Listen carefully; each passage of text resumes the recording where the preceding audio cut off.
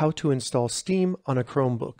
Welcome to another Gauging Gadgets Chromebook tutorial video. In this video, I'm going to show you how to install Steam on your Chromebook. So if you're looking to have Steam maybe for messaging or to play some of the games on your Chromebook, in this tutorial, I'll show you how to do that. Before we get started, there's a couple requirements in order to be able to do this. The first is we have to be able to enable the Linux environment on our Chromebook. So we'll be going through those steps first. If you have a 64-bit Chromebook, there's going to be a couple other steps that will be required of you in order to get Steam to work. Maybe if you tried this before, you've seen an error related to 32-bit.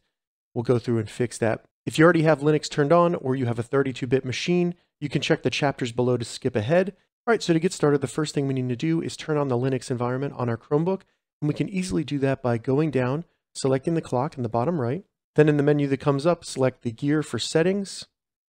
Once the settings open, go to the top and search Linux, L-I-N-U-X, select the first option, and then you'll see Linux development environment. Now, if you do not see the Linux development environment in here, that means that your Chromebook is probably not compatible with Steam, so you will not be able to install it using this method. Go ahead and turn it on if you're not already turned it on. Select Next, and then Install. So it's going to go through the process of installing Linux. This may take a couple minutes for it to do that. While it's doing that, open the Chrome browser on your Chromebook and we're going to go to steampowered.com. That is the official website for Steam.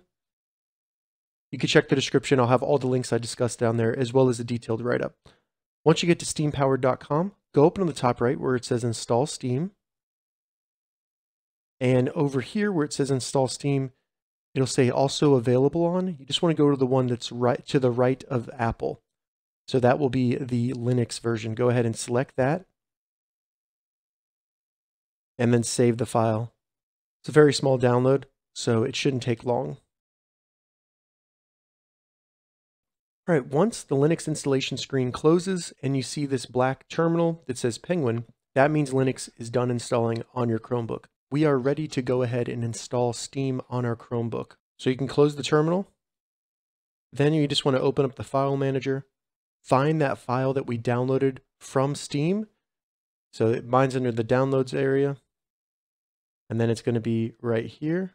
First, select that file, then right click it, and you should see install with Linux. Go ahead and do that. Select install with Linux. It's going to load some details, and then you just need to select install. You'll then see the installation process in the bottom right of your screen. Once the installation is complete, you'll see where it says the app is available in your terminal, and you, can also use the launcher. So you have two options here. You can open Steam by selecting launch right here, or you can go down to the launcher in the bottom left and find it in the launcher and select it. So that's what I'm going to do. Select Steam, then open up a terminal. You should see update Steam runtime environment. And then it will go through an installation and update process with Steam.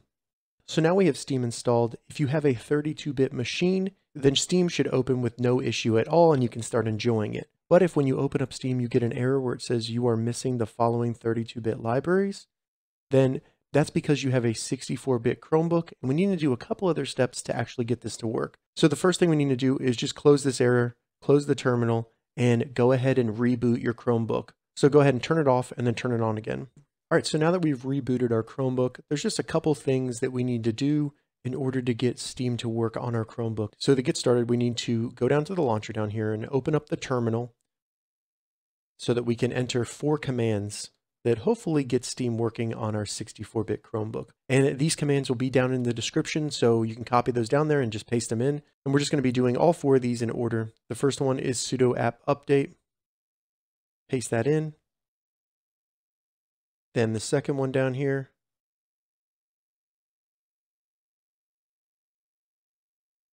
All right, then the third one, sudo apt upgrade. And that one may take more time for you. I've already ran this one. You may be prompted to hit yes or no to install the upgrades. Go ahead and hit yes when you run that. And then finally, we have the last one. Paste that in, hit enter.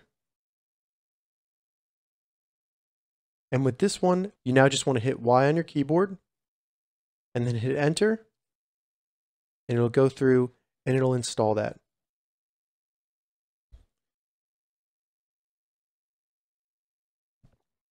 All right, once it gets to the bottom and it says Penguin again, that means we're good. We can close the terminal. You can select leave. Once we've closed the terminal, we can now open up Steam again. And this time it should open. You'll see updating Steam and it's going to download the update to your Chromebook. And once you select Steam for the first time, it may take maybe 30 seconds for it to actually start loading.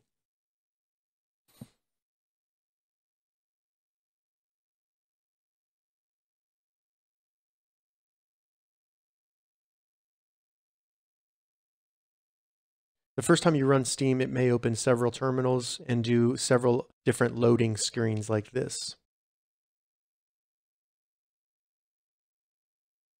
All right, so after a few minutes, we get prompted with Steam where we can actually log into our account. So I'll go through that process. Select login. If you have two-factor, you'll have to go through that. And then Steam will open for you. You can start using it and enjoying it on your Chromebook. All right, so that's how you install Steam on a Chromebook. If you have any questions about this, leave a comment below. I'll get back to you as soon as I can. If you'd like to see more Chromebook tips and tutorials, check the links in the description. If this video helped you, give it a thumbs up, and please consider subscribing to my channel, Gauging Gadgets, for more gadget reviews and tech tutorials. Thank you so much for watching.